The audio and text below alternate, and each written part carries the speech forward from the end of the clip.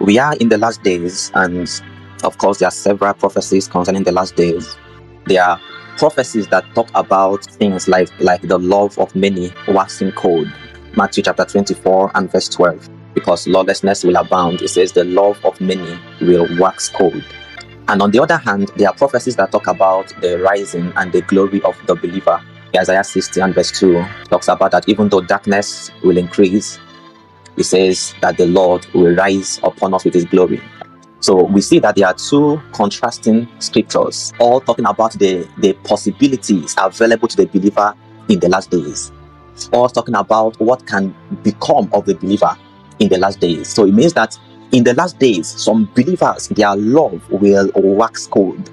In the last days, some other believers, the glory of the Lord upon their lives will shine forth more excellently and brightly. So the question becomes how do we choose the category we fall into? It's not just by merely desire, it's not just by merely saying, ah, my love cannot wax cold, God forbid.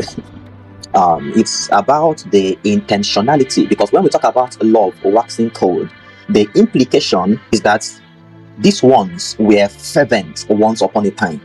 So love waxing cold is not that they have never been fervent, their love has never been hot for the Lord. Maybe they were they have been sitting on the fence ever since. No, he's talking about those that had a measure of fervency for God, had a measure of love for God. But now their love has been found to wax cold. So when we talk about um, love waxing cold, it means one of the things we see from that verse of scripture is that it's not a sudden kind of experience it's not something that just happens suddenly, it was a gradual process. So when the wax begins to melt, it is not suddenly, it's gradual. When an ice pack begins to defrost, it's, it's, it's a gradual process. So when the scripture says the love of many will wax cold, what we read into that scripture is that the love of many will gradually become cold. So it's not a suddenly kind of experience. It's an experience that the believer does not expect, the believer does not anticipate it the believer does not even, you know, in his heart of hearts, he, he didn't know that he could come to the point where he would not have any love for God. So it's a gradual process. You know, um, a songwriter wrote and said it's a slow fade, casting crowns. They sang a song some years back, say it's a slow fade. The dying of the love is a fading away. It's a slow fade. It's not an instantaneous thing that just happened. Maybe something just happened and then you find out that your love is gone. You know, it's something that is gradual. The question we now begin to ask, which was where the Lord began to open my eyes, is how did this happen or how can this happen? So two days ago, God was bringing to my heart one of the technologies that I believe that the devil is using in these last days to cause the love of many to wax cold. Love, as we all know, is a product of the heart. It is the heart that loves. That means that if the devil can reconfigure the heart, can do something in the heart of the believer or in the heart of the one that loves, then he can influence the love. Do you understand? So, what God was putting in my heart is uh, what I, I would call a consistent infiltration of the heart. So, it's a constant infiltration of the heart, such that the believer does not realize that there is something being done to his heart. You know, it's just like um subtle indoctrination, subtle re engineering, rewiring of the heart. It occurs in a subtle way that you do not realize it until you find out that you are far gone. The technology is simple and it is simply to constantly bombard the hearts of men with 4D, with things to defile their hearts, to dishonor God, to discredit God and the scripture, and to discredit his body. So the things the devil is churning out in the last days are geared towards doing four things to defile the heart of the believer, to dishonor God, to discredit God and the scripture, and to discredit the body of Christ, which is the church. So you find out that a lot of things begin to fly around in the last days. Actually, when you read that scripture in Matthew 24, verse 12, he says, Because lawlessness would abound, he says, The love of many will wax cold. What I can interpret from that scripture is that as a result of the multitude of lawlessness, there will be things that will happen in the heart of the believer that will begin to cause his love to wax cold. Do you understand? So in the last days, lawlessness would abound and as a result of those lawlessness, the iniquity of men, and all of those kind of things, the heart of the believer will be affected. Let me not say the heart of the believer, the heart of a believer can be affected.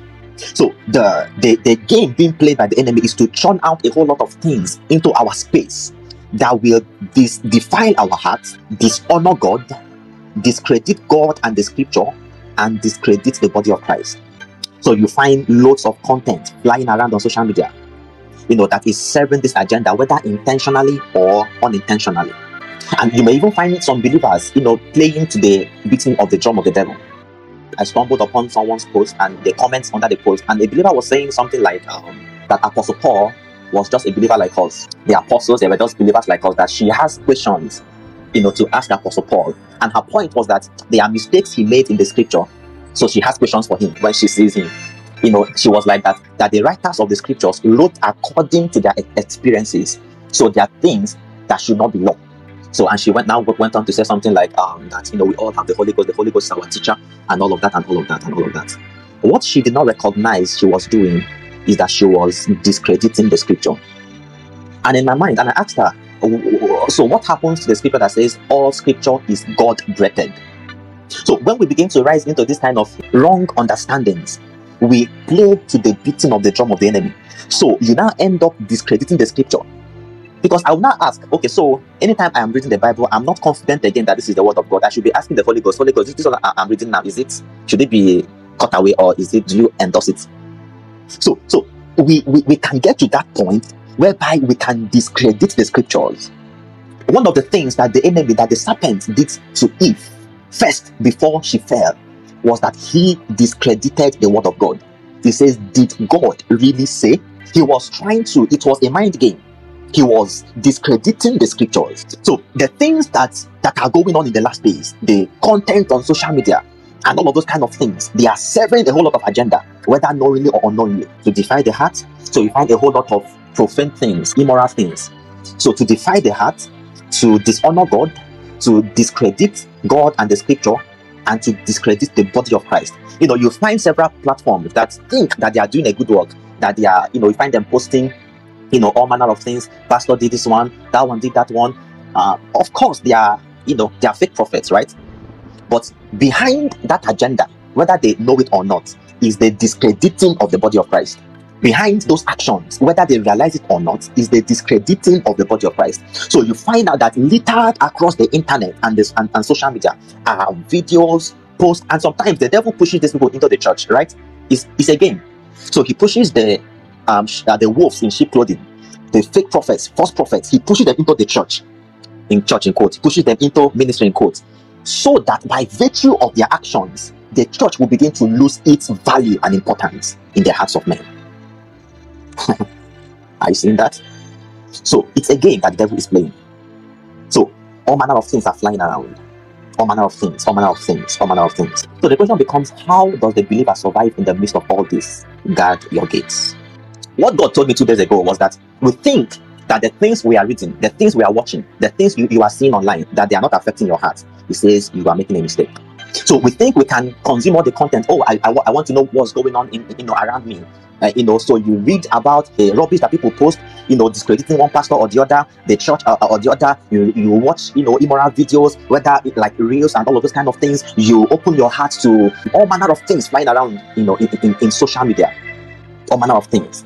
And God was saying that we think that they are not affecting our hearts. So we still gather every morning and we are together. And we think that we are okay. No, God says we are not okay. Says we are not okay.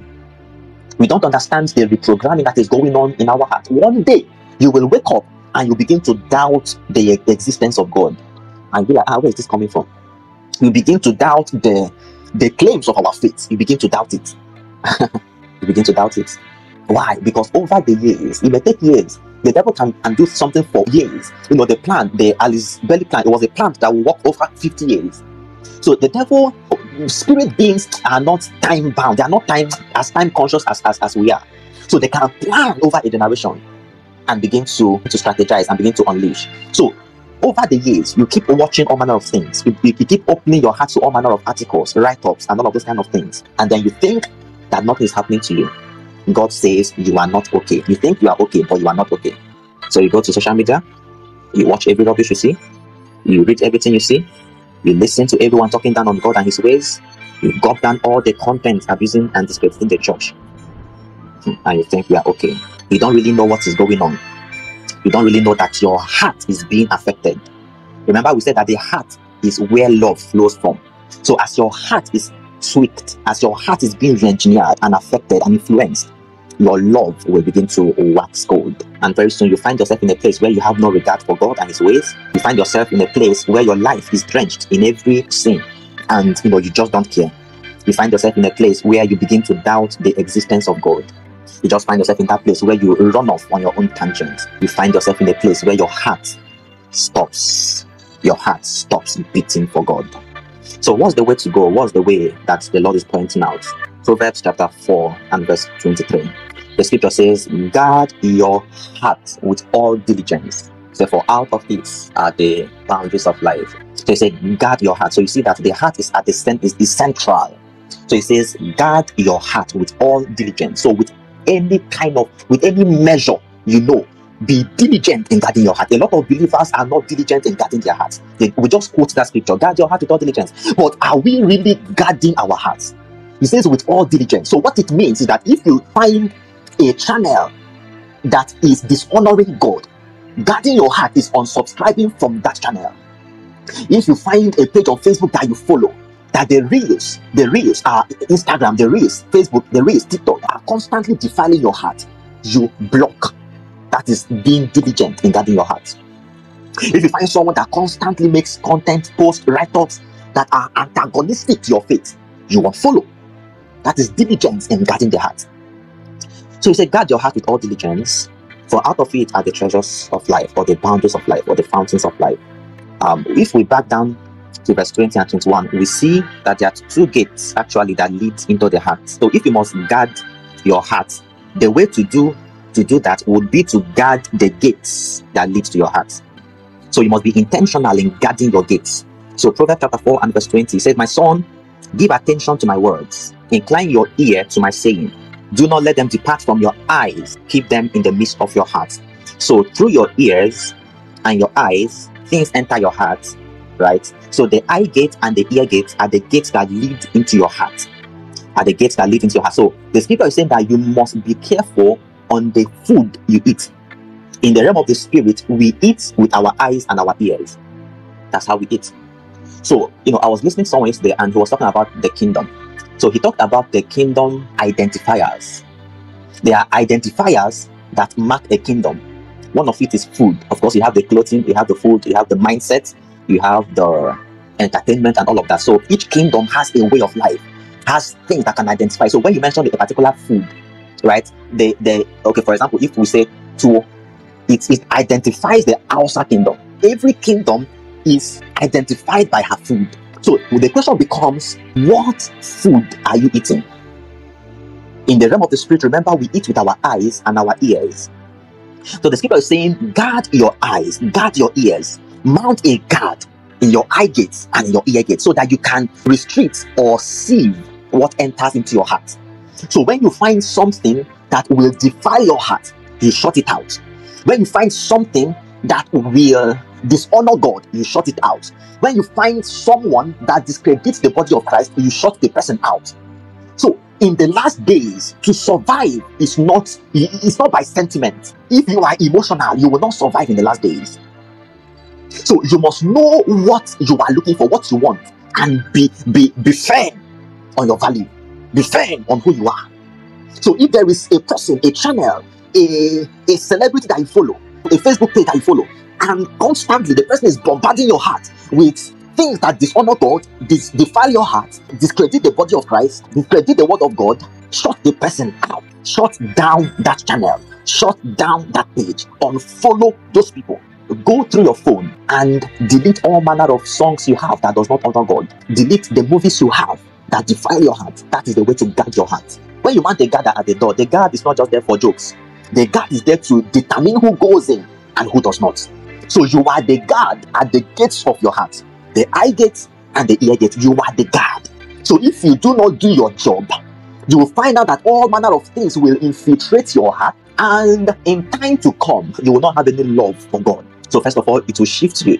You start sitting on the fence, and then from sitting on the fence, someone used the story of um, Eutychus, a man that fell when Apostle Paul was was teaching. That's like a picture of how you know some believers die in the realm of the spirit. First of all, you sit on the fence, you sit on the window. You are not in, before you were in, of course, the guy did not just jump from down and, and sat on the on the fence or, or you know at the window. First of all, he was in. He sat there. From sitting, he slept. So when you sit at the fence, you will go into slumber. Then from slumber, you will fall and die. So it means that you must become intentional in guarding your ear gates and your eye gates. You need to be intentional and radical. Sanitize your space. There, some believers are just funny. And why, why, do I say that we are funny? Um, we claim to love God, but we follow mostly unbelievers. is, is, is, it not funny? So we don't follow people that that add value to our faith. We don't follow people that talk about the kingdom, that explain the scriptures, that cause our hearts to burn for the Lord. The majority of the people, the channels we follow are channels that just are, are just appealing to the flesh, channels that feed the flesh, and yet we claim I love the Lord. And we come and we can sing, I love you, Lord, I love you, Lord. And we cry. But loving the Lord is intentional. when you look at how God loved us, it was an intentional love. He says, Because I love you, I will send my son. It was intentional. So, because you love the Lord, there are certain things you should shut down. There are certain things you should shut out. And there are certain things you must intentionally bring in. That's what it means to guard your gate. So now I encourage everyone as I begin to wrap up. Pay attention to your eye gate. Pay attention to your ear gate. They, they, they seem harmless because their results are not instant. But over time, a believer that keeps on taking in all manner of things through the eyes and the ears will ultimately fade away and die. Ultimately, there is no two ways about it. Ultimately. so, um, Apostle Paul will, say it this way God cannot be mocked. Whatever a man sows, that is what he will reap. So if you keep sowing to the flesh, how do you expect to reap the life of God? The place of your consistent and major sowings will reflect in your life ultimately. Father Lord, we thank you. I don't know if there are people here that you are repenting. You are saying the first people I want to pray for or with are people that are repenting. You are already a believer, but as I talked, you were looking at you know the content you've been consuming and you want to say lord i repent can you just go ahead? There is grace in this place. There is grace in this place. There is grace. There is grace. There is grace. And say lord i repent this day of every deviating i have done of every unintentional eating of meat prepared by the devil that i have done. Lord sanctify me again. Sanctify my heart. Purge my heart of every meal that defileth. He says, For we will not defile ourselves with a portion of the king's meat. There are meat that you have taken that has defiled your heart. And said, Lord, purge my heart again. Purge my heart, purge my heart, purge my heart, purge my heart, purge my heart, purge my heart, Lord. Kai Olefeledes, purge my heart, O Lord. Purge my heart, O Lord, by your mercy, by your mercy, by your mercy, by your mercy. Purge my heart by your mercy, Lord. Purge my heart by your mercy, Lord. Is someone praying? Someone praying? And if you are here and you want to surrender your life to Jesus, this is also your moment. This is also your moment to say, Lord Jesus, I accept you as my Savior. It is only with the help of the Lord and the Spirit of grace that you can go through the last days and come out in one piece. He says that he will preserve you spirit, soul, and body. He will preserve you spirit, soul, and body until the appearing of our Lord Jesus. There is the one that preserves. It is when you come into partnership with him that you have the starting ability or you have the, the capacity to be preserved. Can you say, Lord, I accept you as my Savior? Come into my heart. I believe in the finished work of Jesus on the cross. I accept Jesus this day as my Savior and my Lord. In the name of Jesus. And so I pray for everyone that has made this decision in various ways. Um, the ones that have returned to you, the ones that are saying, Lord, from this day I will be more intentional I have gone the way of filling my heart with vanities, with contents that defy the heart, that discredit God, that dishonor God, discredit scripture, discredit the body of Christ. And Lord, I pray over these ones that, Lord, you will purify their hearts. Let there be the washing of their hearts by virtue of this word that has come this morning. Let there be the washing of their hearts.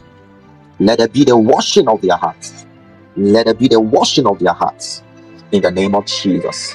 Lord, for the ones that are um, that have come to you in repentance and made you their savior, Lord, I declare unto them that their sins are forgiven. On the basis of your word, I pronounce them righteous in the name of Jesus. And Lord, I pray for every one of them that all through their journey in life, Lord, it will be it will be a, a, a, journey in unity, united with you. They will walk with you. Lord, you would hold their hands, I pray, all through their journey in life. Lord, let their love wax stronger and stronger. Let your glory be revealed, you know, better and better in and through their lives. In the name of Jesus. And I pray for everyone under the sound of my voice. In the name of Jesus. I pray that we will not fall for the schemes of darkness we will not fall into the orchestrations of darkness. We will not fall for the mind molding from hell. We will not fall for the subtle indoctrinations of darkness. Lord, I pray, open our eyes to the different ways that the enemy comes against our souls, comes against our hearts. In the name of Jesus, grant us the strength by the Holy Ghost to remain and to abide in you. In the name of Jesus. Father, Lord, we thank you. Thank you for your grace. Thank you for the power of your spirit. In the name of Jesus, I release your grace upon everyone. I, I release the power of the Holy Ghost upon everyone. In the name of Jesus. Latori ina vino felenis. Let there be a binding together. Let there be a binding together. You and the Lord, a binding together. You and the Lord in the name of Jesus. Abba Father, we thank you. Our steps are guided. We will not walk into error. We will not walk into destruction. Um, the scripture says, There is the way that seemeth right unto a man, but the end thereof are the ways of death. Lord, I pray for everyone under the sound of my voice, and I declare over every life that our feet are guided. Even in these last days, in the decisions we make, we are guided and we are guided in the name of Jesus. Lord, may we walk in line, in step with the Holy Ghost. In the name of Jesus. Abba Father, I declare over everyone that Lord, you will sustain everyone with the power of your word. Even as the treasure, because behind the scene, you know, also, you know, engendering the agenda of darkness is the pressure of the economy. The treasures, the treasures, the treasures. And so I declare that, Lord, even as the pressures from economy get more intense, Lord, that you will be our buffer in the name of Jesus. Lord, that your children will find their Goshen in the name of Jesus. I lefos enti akai lora filon the eye korafiliasianai. Open our eyes, Lord, day by day.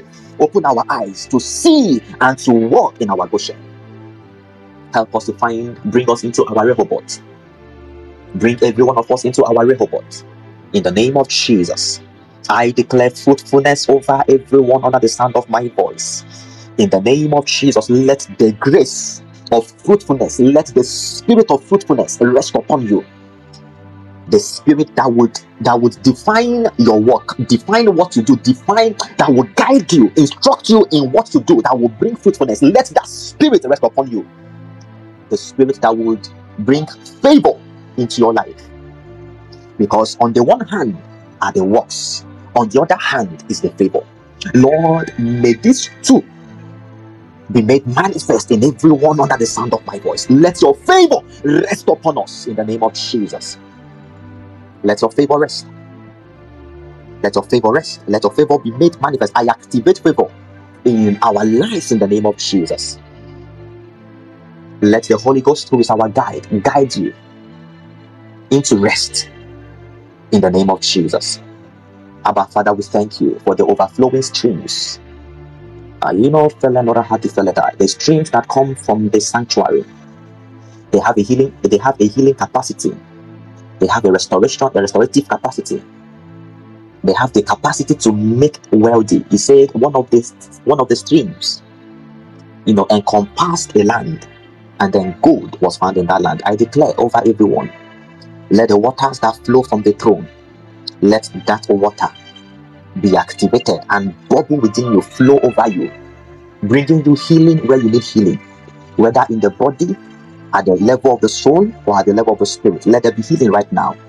In the name of Jesus, let there be healing. I rebuke every spirit of infirmity. Be gone in the name of Jesus. I declare the healing waters over your life. Let the stream bring you into abundance in the name of Jesus. Let the stream lead you. Kai tenofelede. Shaman bonfeletai, kamifeleta. The river flowed from Eden. And then if you follow that, that, that river, it will lead you to God. May that river begin to instruct your heart. May that river begin to guide your heart, begin to lead you to your wealthy place in the name of Jesus. Abba, Father, we thank you. We give you all the praise, we give you all the glory. In the name of Jesus, we have prayed.